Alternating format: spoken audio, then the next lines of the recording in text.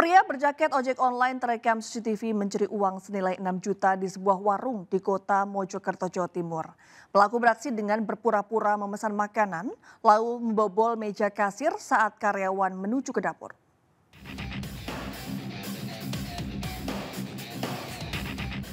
Pencurian dengan modus berpura-pura sebagai pengemudi ojek online terekam CCTV.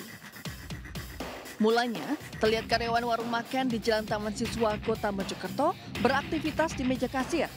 Setelah pelaku memesan makanan, karyawan tersebut menuju ke dapur.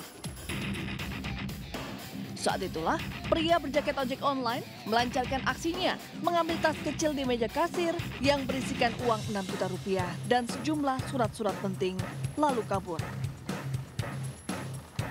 Sebelumnya, pelaku datang mengendarai sepeda motor dengan seorang pria lainnya dan memarkirkan motor tak jauh dari warung lesehan.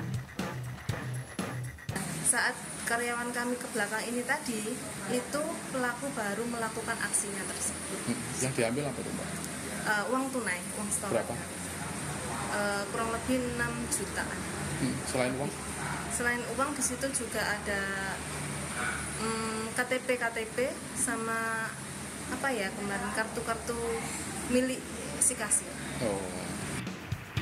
Meski terjadi pencurian, pihak warung belum melapor ke polisi karena sepeda motor tidak terekam CCTV. Dari Kota Mojokerto, Jawa Timur, Solahuddin, iNews melaporkan.